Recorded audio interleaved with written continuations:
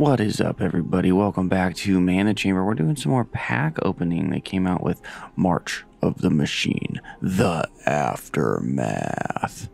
So it's gonna, it's like a weird mini set. I think there's only like 50 cards or something. They gave us some packs for it, so we're gonna see. But first, why don't we open some original packs? See what we got going down over here. I'm getting a, a invasion of Ergamon making treasures, discarding cards, drawing cards, getting a rhino, enters, discarding cards, searching your library for battles, revealing them, putting them in your hand. Crazy. We're getting this bladed battle fan. It's got a flash. It enters a battlefield. It attaches to a creature. It gives them indestructible. It gives them plus one, plus zero. Very cool. Let's flip this thing. What we got? Glistening Dawn, incubate X twice, where X is the number of lands you control. Man, that's pretty dope. All right, pack number two here. We're going down. We're getting the Iridescent Blade Master. He gets plus two, plus two It's four mana. We're getting the Invasion of Ulgrotha. They enter the battlefield, deal three damage to any target, gain three life.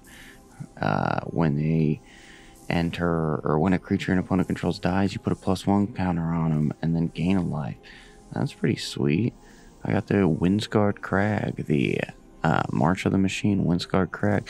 We're getting this Stormclaw Rager. Man, you can sacrifice things, put a plus one counter on him, draw cards. Looks like we're going to have another boy to play around with coming up. So, who's he? Jury? Can spell it right, Jury master of the review. All right, solid March of the Machine, guys. So, whenever you sacrifice a permanent, put a plus one counter on Jury, Master of Review. Hopefully, that's how you say it. When he dies, it deals damage equal to his power to any target. Very nice. And then we're getting Etali, Primal Conqueror. Look at this, boy. This is one I was hoping to be able to make, so Etali, Primal, Conqueror. He gets trampled. When he enters the battlefield, they exile cards from the top of their library until they exile non land.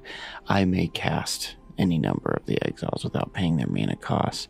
He does a big transform. He turns into this trample indestructible. When he deals combat damage to a player, they get that many poison counters. It's pretty wonkadonk, you know? All right, well, those were those. Now let's get into the reason why we're here for this pack opening video March of the Machine, the Aftermath, the weird mini set. It's gonna be Buck. We got the Halo charged Skaab. Enters a battlefield. Each player mills. I can put an instant or sorcery of battle from the graveyard of my library. Nice. We got the Harnessed Snubhorn when he enters or when he deals combat damage to a player, return target artifact or enchantment from your graveyard to the battlefield. Very sick.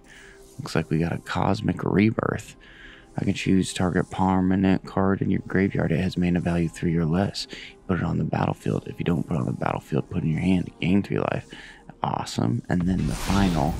Oh, we got a like mythic to play around with. Don't know if I'll use that. All right, pack number two of the aftermath. You got this reckless handling. Search your library for an artifact card, reveal it, put it in your hand. Discard a card at random. If an artifact card was discarded this way, deal two damage to each opponent. Cool. Wrenn's Resolve. Exile the top two cards of your library until the end of your next turn. You may play those cards. Awesome.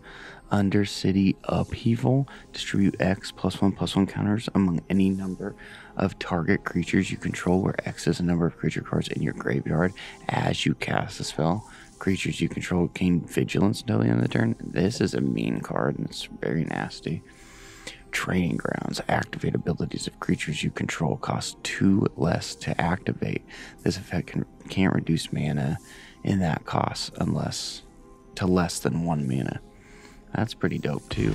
And we're getting a legendary guy. What do we got here? Yarok, the Desecrated. Okay, so Death Touch Lifelink. If a permanent entering the battlefield causes a triggered ability of a permanent you control to trigger, that ability triggers an additional time. He sounds fun. Sounds like a fun guy. Alright, the last pack of the Aftermath is going to give us a Markov Baron, Lifelink. Other vampires you control get plus one, plus one. Convoke Madness. Sweet. We got the Swift Water Cliffs. Gonna get crazy and swift and then the Urborg Scavengers. So when it enters the battlefield or attacks, exile target card from graveyard, put a plus one counter on it. When uh, it'll get flying as long as the exile card has flying. Same with first strike, double strike, death touch, haste, hexproof, indestructible, lifelink, menace, reach, trample, and vigilance. That is sick. That is dope. I guess that's it for today. We're just doing a little quick pack opening video since March of the Machine, the Aftermath came out. Hopefully, you're having a good time hanging out at the channel. Would love a like, would love a subscribe. Love if you commented. Are you interested in this? The Aftermath um, packs? Are you interested in real cards in real life? Are you interested in them in arena? Did uh, Wizard of the Coast make a misstep putting out this really tiny little set? It seems that the market value in real paper magic is going down. That's kind of like the way it goes sometimes. It was a really weird set. I don't understand why they sold bundles of it. Um, yeah. All right. Peace.